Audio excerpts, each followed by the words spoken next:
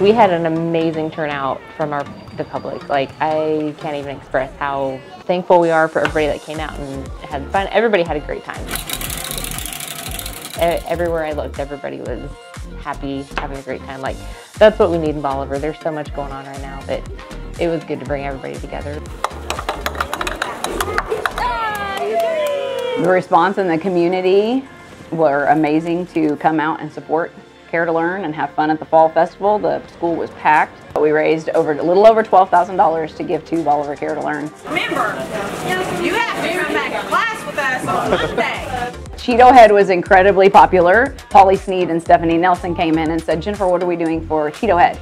And I said, well, you're gonna put the little shower cap on your head, you're gonna spray shaving cream around your head, and kids are gonna throw Cheetos at you, and you're gonna wear a cape. And they both looked at me and said, I thought we were just gonna have to eat Cheetos.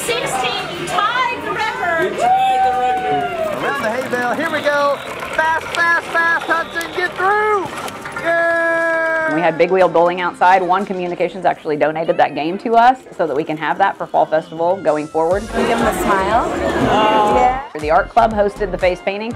We probably need um, three tables as long as they had this year because that was very popular. Lots of cute face painting. They did a great job. Need scissors.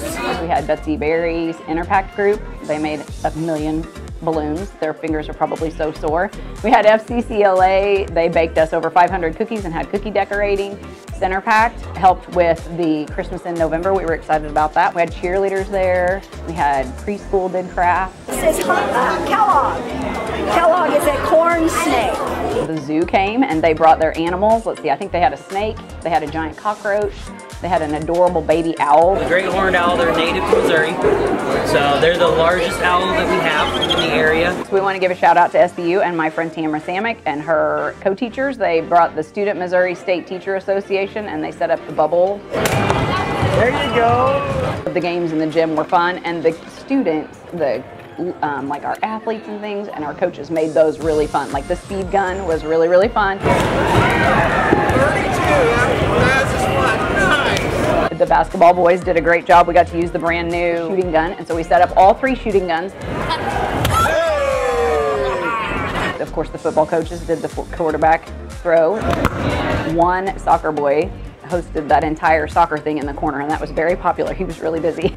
Um, we had a huge turnout for the silent auction. We had 39 baskets, um, and the silent auction itself raised over $3,200. So that was um, that was huge. We probably had between 48 and 50 business sponsors. I couldn't believe for as last minute as we threw this together, we had an amazing turnout for sponsors. Um, so many businesses just went above and beyond.